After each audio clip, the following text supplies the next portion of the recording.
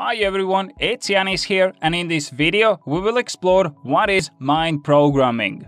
Do you have beliefs that are holding you back to achieve your goals? In this video we will discover how to change them. If this is your first time on this channel, then make sure you subscribe and hit the bell icon to get updates on my latest videos about time management and productivity. Mind programming, also known as subconscious mind programming, is a mental exercise for developing new beliefs that can help you to achieve your goals. We all have beliefs about certain things in life, and if our beliefs are going against our goals, then we'll be struggling to achieve them. Let's say that you believe that you're not good with finances, but you also have a goal to save up some money.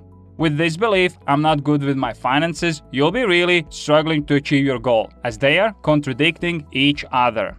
So, what you have to do is you have to change your beliefs, and you can do that with mind programming. Here are some practical strategies that you can use. First, positive self talk. You have to start by telling yourself that you can change and make adjustments to your life. In other words, you have to become the optimist and say to yourself, I can save the money. I can earn more money. I'll become better at managing my finances.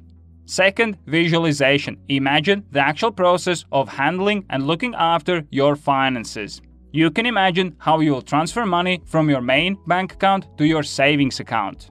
Third, build confidence. Start small and build your way up. By putting a little money aside, you'll prove to yourself that you can do it, and over time, you'll become more and more confident. You can reprogram your mind however you want, and that can help you to achieve any goal in your life. I hope that you enjoyed this video and I was able to give you a quick summary of what mind programming is and how you can use it to your advantage. If you enjoyed this video, I would really appreciate if you could press the like button as this will help the video reach more people and spread the message.